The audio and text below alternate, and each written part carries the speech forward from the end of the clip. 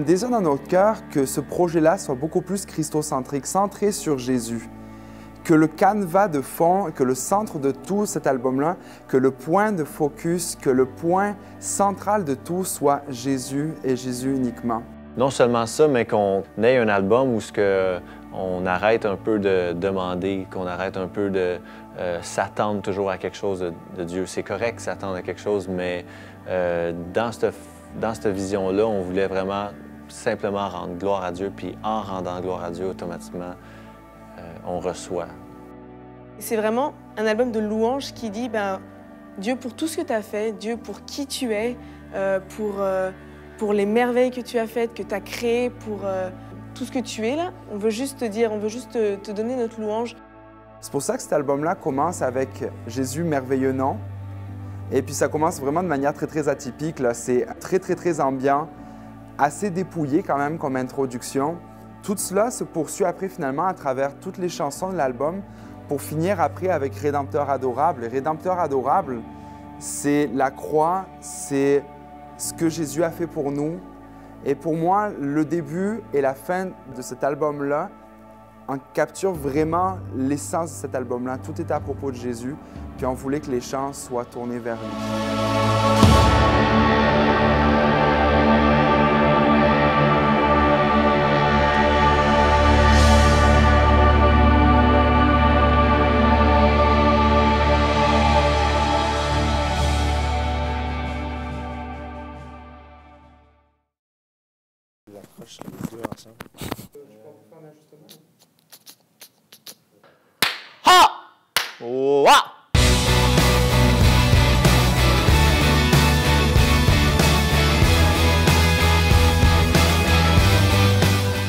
Impact, avant d'être un, groupe de musique, euh, c'est avant tout des musiciens qui servent dans, la jeunesse le vendredi soir à Impact Jeunesse. Eh bien, Impact Jeunesse, en fait, c'est un groupe de jeunes. C'est des centaines de jeunes qui se rassemblent une fois par semaine. Pour moi, c'est ma jeunesse, c'est mon église. C'est un groupe de jeunes qui cherchent Dieu, un groupe de jeunes passionnés par Dieu. C'est un endroit où il y a une louange vivante, puis une prédication. Euh, pertinente pour des jeunes adultes. Tu rentres un, vendredi soir à Impact, puis tu sens que les gens sont là pour toi, puis pour aider les autres. C'est pas euh, quelque chose de, mécanique, c'est quelque chose de cœur. Il y a comme toute un, une dynamique de jeunes d'aujourd'hui qui se disent on veut faire quelque chose pour notre génération. Le groupe de musique d'Impact dépend du ministère de Jeunesse, Impact Jeunesse. Impact Musique, je le vois vraiment comme une, une gang de musiciens, une troupe de, de, jeunes en feu pour Dieu qui veulent mettre à profit leurs dons et leurs talents pour Dieu. Le but premier du Ben Impact, c'est vraiment d'apporter la louange à chaque vendredi. Si euh, il y a des albums, des tournées, euh, c'est tant mieux, c'est bénissant, mais pour moi, le Ben Impact en premier, euh, le focus, c'est vraiment sur les vendredis avant tout la musique Impact, c'est un, groupe de jeunes qui, qui cherchent pas la perfection parce que ça s'atteint pas, mais tout le temps le meilleur de soi-même. Le seul public, le seul auditoire qu'on a, c'est Dieu. Donc, il n'y a pas une élite qui est sur le stage et puis qui, qui essaie de, de, performer. Non, on, on essaie ensemble de s'approcher plus près de Dieu.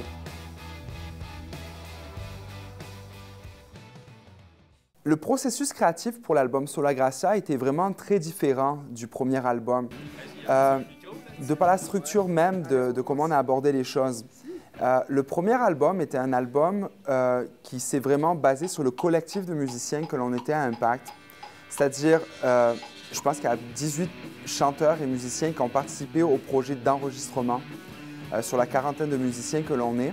Le premier projet, on l'avait abordé d'une manière où j'avais arrangé la majorité des chansons euh, Sébastien Desmarais aussi avait euh, travaillé sur les tunes en même temps à la fin du projet. Là, après, ce qu'on faisait, c'était, bon, ben, tel musicien va enregistrer cette partie-là. Le but, c'était de rassembler le maximum de musiciens pour jouer les parties qu'on avait imaginées au niveau arrangement. Hey Seb, as-tu vu mon pic? Le premier album, c'était vraiment concentré sur euh, le partage des ressources à impact. on donnait des, des rôles définis à chaque personne, puis il y avait une ligne directrice Le premier défi qui, qui, qui est venu à nous, c'était de voir euh, sous quelle forme on faisait l'album. On savait qu'on voulait faire un live, euh, mais il y avait plusieurs manières de, faire ça. Puis justement, le fait que le Ben Impact, c'est un collectif, mais c'était euh, évidemment difficile de, savoir si on allait essayer de faire participer le, plus de monde possible ou de prendre la décision de euh, choisir des musiciens en particulier. Ce que je trouve intéressant sur le second, sur le Gracia, c'est que les musiciens, c'était un band fixe. Je voulais pas qu'on fasse des switches de musiciens, qu'il y ait plusieurs musiciens qui interviennent. Je voulais qu'on soit une équipe qui soit là pour arriver à créer une chimie, une cohésion. Puis dans ma tête, il y avait vraiment cette volonté de pas juste choisir des bons musiciens qui seraient capables de rendre les, les, différentes parties musicales, mais des musiciens aussi qui allaient participer à la création. Parce que je me suis dit, si je m'entoure de personnes, euh, le projet va aller bien plus loin que ce que je peux l'amener moi.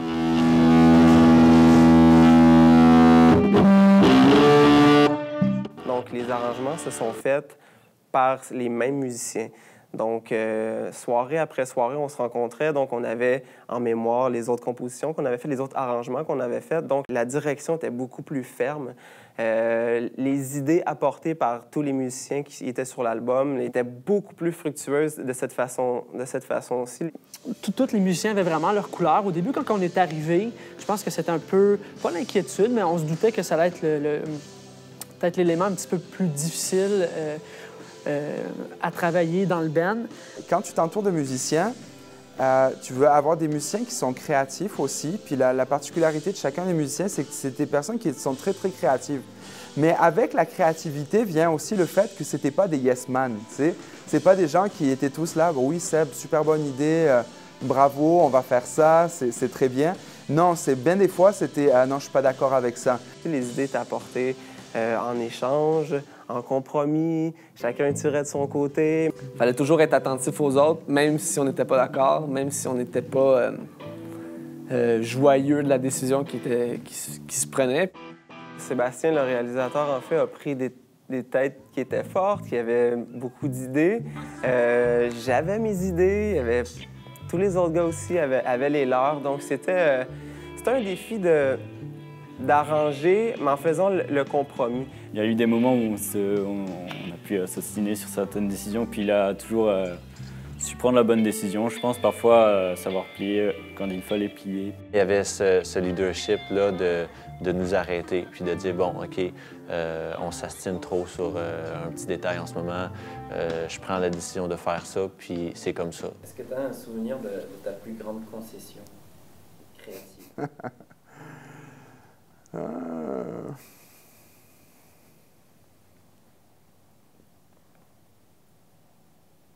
J'en ai pas fait de concession.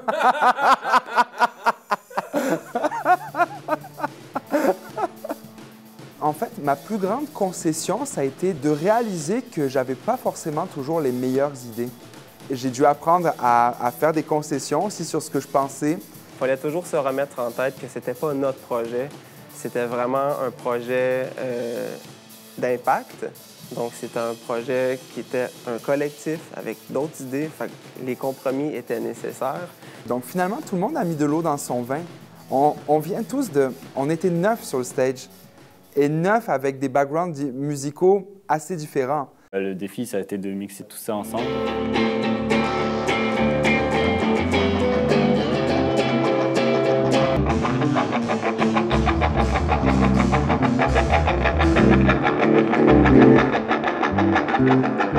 Joe, c'est. Euh,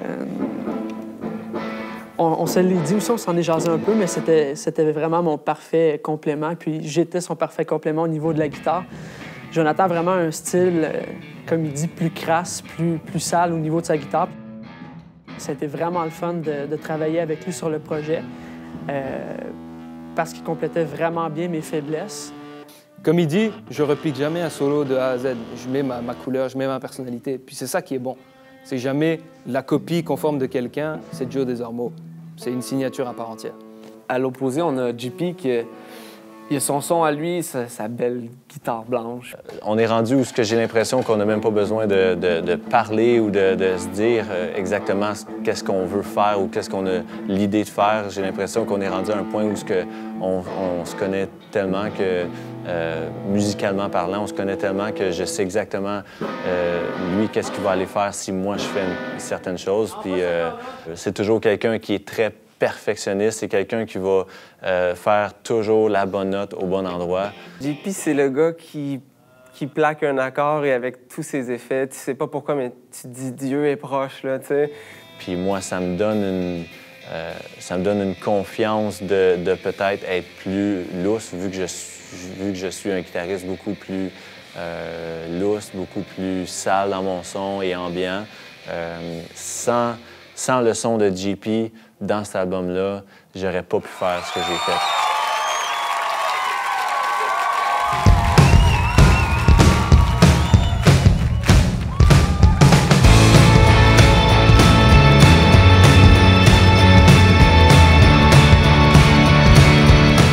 L'idée d'avoir deux drums, en fait, d'après moi, il est venu de, toutes sortes d'influences qu'on a eues.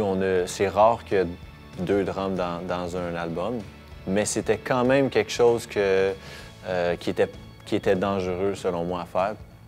Et euh, ça aurait facilement pu être un désastre.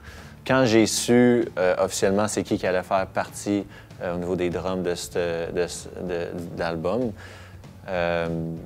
ça, ça a confirmé que, que ça avait vraiment sa place, selon moi. Bien, le fait d'avoir deux batteurs, premièrement, ça apporte une originalité. Il y a plus de possibilités aussi lorsqu'il y a deux batteries. Ça donne plus de texture, plus de profondeur. Il y a, plus de, de stimulation lorsqu'on qu'on écoute et on regarde aussi un band avec deux batteurs.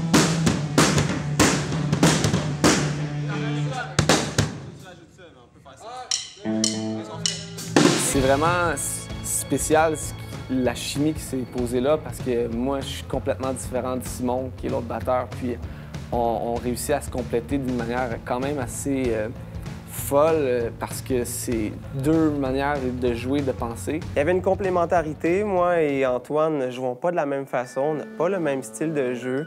Euh, donc, moi, j'ai pris plaisir à compléter le jeu et les sons d'Antoine et vice-versa quand c'était lui qui était plus à, la percussion. Donc, c'est vraiment On est allé chercher un éventail de, sons, de percussions et des possibilités beaucoup plus grandes avec deux batteries.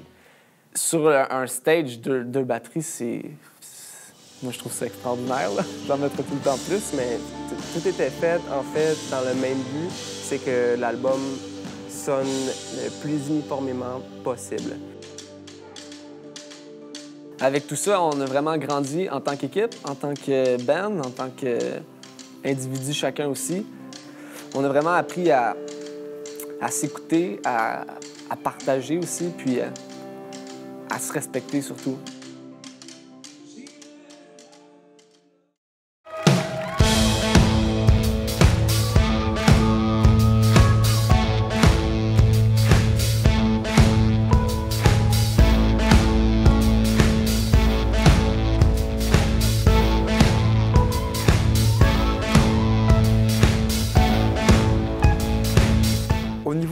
Le défi que l'on avait, c'était de, de créer un décor et des lumières qui allaient matcher, qui allaient fitter avec l'ambiance de notre musique. Mais à chaque fois qu'on en parlait des décors, il y avait toujours le mot palette qui revenait.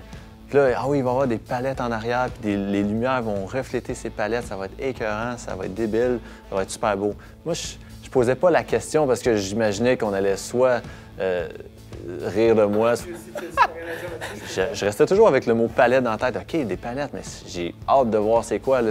J'imagine des panneaux en arrière où ce qu'il y a des lumières qui, qui sont dessus, etc. Puis tout ça pour finalement arriver le jour du concert, de voir le, de voir le stage, puis juste regarder et faire Ah, des palettes! OK! C'est littéralement des palettes! Pourquoi ils me l'ont pas dit? Quand j'ai vu le décor pour la première fois, non seulement c'était waouh, mais en plus c'était ah, c'est ça qu'il voulait dire. pendant la semaine avant le concert, c'était des moments qui étaient vraiment très, euh, très excitants parce que tout ce que l'on avait vu, c'était des plans sur, euh, sur une feuille de papier. C'était des discussions que l'on avait eues avec Steve, avec Régis Bélanger aussi, qui a conçu tous les décors derrière. Mais là, de les voir prendre forme sur nos yeux, puis de voir les premières lumières qui s'éclairaient, on s'est dit waouh! Donc au niveau, de, au niveau du stage, on a voulu euh, ramener beaucoup d'éléments organiques. Euh, donc ce mur de palette qui a été créé en toile de fond, euh, une, accumulation aussi au niveau du stage. On ne voulait pas un gros stage euh, informe et vide. On, voulait créer un sentiment d'unité.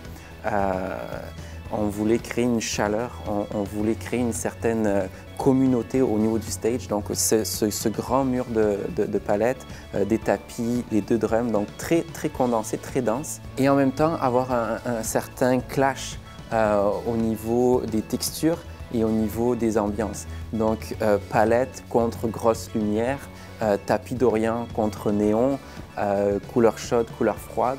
Donc c'est un univers chaleureux, mais dans lequel on est capable d'aller puncher et d'aller séquencer de la lumière, des couleurs et, de pouvoir jouer au niveau des univers en fonction des différentes musiques.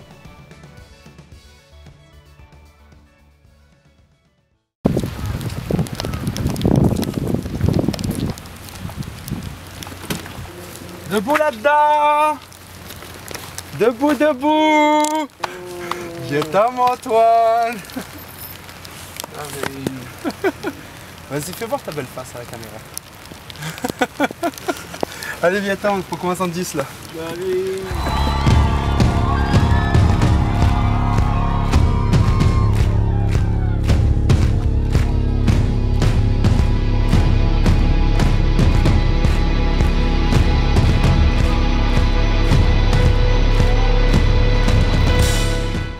très spécial, 30 minutes avant le concert.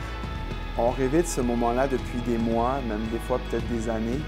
Juste avant d'embarquer de, sur le stage, 30 minutes, c'est tu as l'impression qu'il y a une tonne de pression sur tes épaules parce que tu penses à un milliard d'affaires. Là, je commence à voir un peu plus l'adrénaline qui monte. Un stress, mais un bon stress. J'aime euh, ce feeling-là. Tu penses à tous les points techniques. Tu penses à la machine à écrire, est-elle dans le bon angle? Est-ce que je ne veux pas oublier les paroles? Mon synthé, est-tu bien branché? Est-ce que je vais, je vais bien jouer? Est-ce que ma session, est-tu bien loadée sur mon ordinateur? Tu révises vite, vite, vite dans ta tête toutes les parties que tu as à faire dans chaque pièce. Puis j'étais backstage juste avant de monter, puis je, je disais, tu sais, Seigneur, ça, ça, me dépasse, c'est gros. Alors! J'ai le coup de mourir! Puis le stress monte, l'intensité monte, t'es fébrile. Nous, derrière, c'était comme si on allait monter sur un ring. T'anticipes beaucoup de la soirée, t'es euh, es hyper content et satisfait de ce qui s'est passé avant dans les arrangements. T'as juste hâte d'aller le proposer aux gens. Notre focal, finalement, s'est ajusté quand on, a, quand on a passé un temps de prière avant tous ensemble en équipe.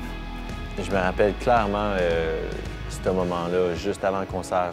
Euh, oui, il y avait des stress encore, il y avait des choses euh, plus ou moins certaines, mais on avait bien pratiqué, on avait bien fait euh, notre travail, puis on était prêts. Puis avant ce concert-là, on était, je me souviens très bien, être en backstage avec Luc Dumont qui était venu venir faire son tour avec David Potier, notre pasteur jeunesse. Puis c'était un moment où vraiment j'ai réalisé personnellement que on le sait que c'était pour Dieu qu'on le fait tout ça. Mais c'est dans le moment même, là, ce moment-là, qu'on s'est dit non, moi ce soir, je ne vais pas le vivre comme simple enregistrement.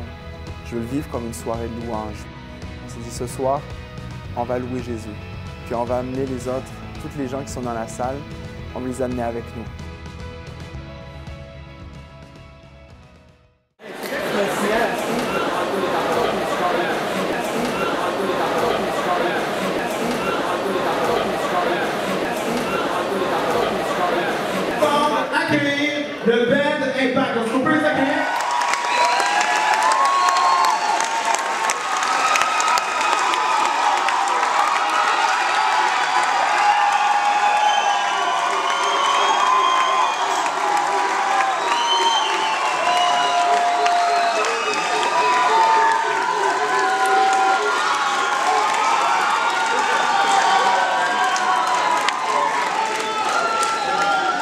Souviens que juste avant de monter sur scène, je me souviens, ça criait, euh, ça criait Jésus, Jésus.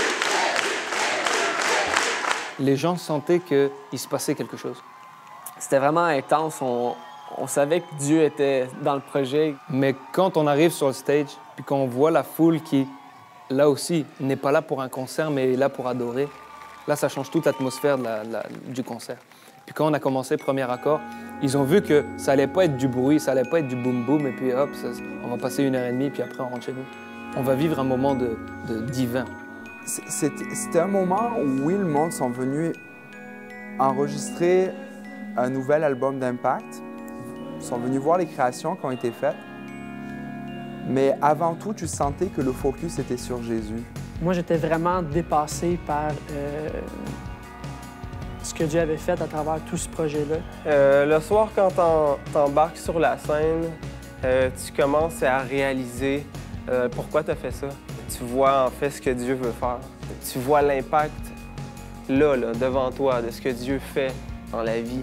La performance, ça vient pas de toi quand tu joues live pour, euh, pour Dieu. C'est Dieu qui l'a fait. En fait, la performance, c'est les vies transformées, c'est les vies qui sont changées. J'ai savouré tout le concert, mais il y avait des moments comme infiniment grands. Genre, j'étais là, je savourais, j'écoutais une foule qui chantait comme ça n'avait pas d'allure. C'était tellement bruyant, les gens chantaient tellement fort que j'enlevais mes, mes écouteurs pour pouvoir les entendre chanter. Ça, me- ça me rendait encore plus fébrile de pouvoir louer avec tant de gens. Les gens sentaient qu'on ne se servait pas d'eux pour enregistrer un album live, on voulait juste des applaudissements. Je pense que les gens ont vu qu'on voulait ensemble être un grand orchestre qui offrait une soirée de louange à Dieu. La soirée, en fait, euh, elle a passé tellement vite. Euh, J'ai même pas vu le laps entre la première et la dernière chanson. Ça, ça a coulé, puis euh, j'ai vraiment réalisé qu'on avait passé une très bonne soirée juste parce qu'on n'a rien vu passer. Et j'ai entendu des témoignages. Après, quand on, est descendu l'estrade à la fin du concert, on descend et puis on, parle avec le- les gens. Il y avait des amis à moi qui étaient venus d'une autre église et puis qui me disaient on a senti quelque chose. Il y avait vraiment la présence de Dieu. On s'est amusé, on a, vu musicalement que c'était extraordinaire, les voix, les lumières, et puis... mais il y avait la présence de Dieu.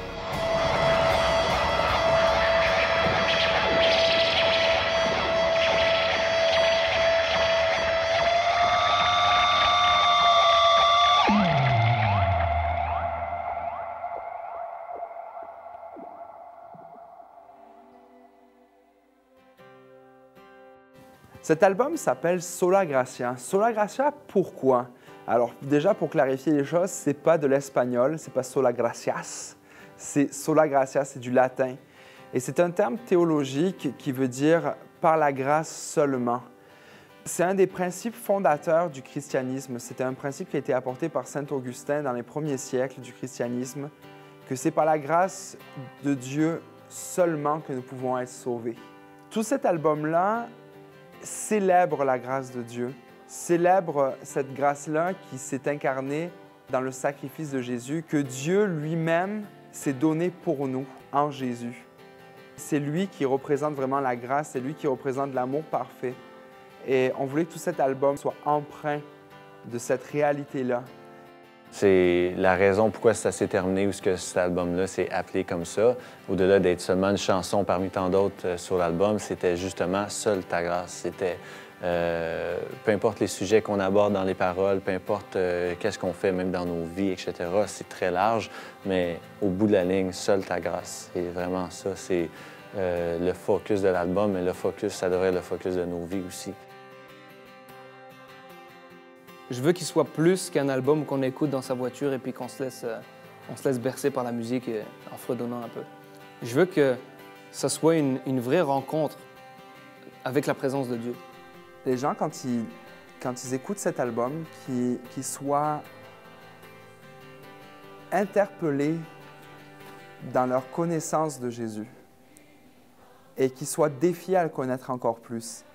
Ce que je souhaite, c'est que ça puisse défier euh, des jeunes dans la francophonie à, se dire oui, c'est possible. va inspirer, euh, va inspirer euh, toute, une génération de, créateurs, d'artistes, de compositeurs, de musiciens à, aller encore plus loin. C'est ça qu'on a voulu faire avec Sola Gracia sortir des codes qui se font au niveau de la louange et, aller plus profond, plus profond au niveau des textes, plus vrai euh, au, au niveau des chansons, au niveau de la création. Euh, et peu importe le rythme, peu importe la manière dont, on y va, le but, c'est de prendre le cœur, notre cœur et le cœur de la congrégation et l'amener vers, vers le cœur de Dieu. Le but de cet album, c'est vraiment de composer euh, des tunes pour euh, les chrétiens de la francophonie. Le but, c'est sûr que ça, soit joué dans les églises. Moi, ce que je souhaite, c'est que ça puisse inspirer des, centaines et des milliers de jeunes dans la francophonie à louer Dieu de leur propre manière, mais avec une excellence, avec une quête de pertinence aussi pour leur culture dans laquelle ils sont, d'être pertinent au niveau musical, d'être pertinent théologiquement, d'être, euh, ouais, d'élever une louange finalement aux quatre coins de la francophonie et d'inspirer des jeunes à élever un chant nouveau.